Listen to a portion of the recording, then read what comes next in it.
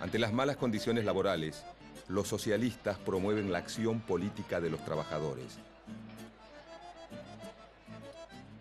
En 1894, el médico Juan Bautista Justo, preocupado por la situación de los trabajadores y ligado al socialismo internacional, funda el diario La Vanguardia.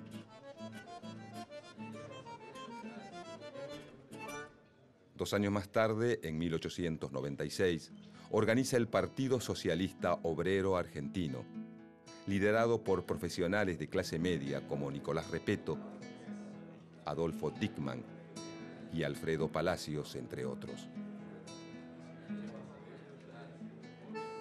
El Partido Socialista denuncia vicios en la política, pero acepta las condiciones de competencia electoral y promueve la asociación de los obreros, subordinados a la dirección del partido.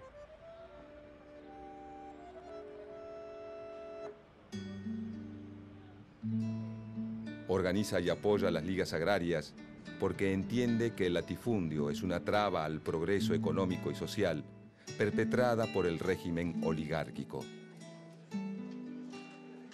Entre los obreros promueve la formación de cooperativas de producción, consumo y vivienda y de distintas formas de asociación cultural.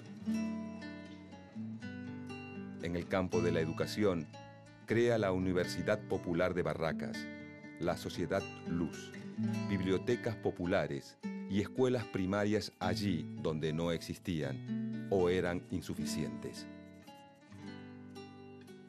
Juan B. Justo es quien marca la línea ideológica del partido. Es él quien realiza en Argentina la primera traducción al castellano del tomo 1 de El Capital de Carlos Marx. Se inspira además en su acercamiento inicial a la socialdemocracia alemana y en los programas políticos del socialismo francés y belga. El primer diputado socialista de toda América es elegido en 1904 por el barrio de La Boca. Se trata de Alfredo Palacios, que logra unos años después la aprobación en el Parlamento de la ley de descanso semanal.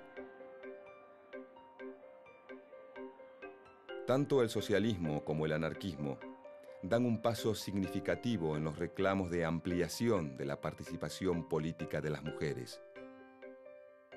Si bien existen militantes feministas y socialistas anteriores, Alicia Moró, la segunda esposa de Justo, se convierte en un ícono de este movimiento.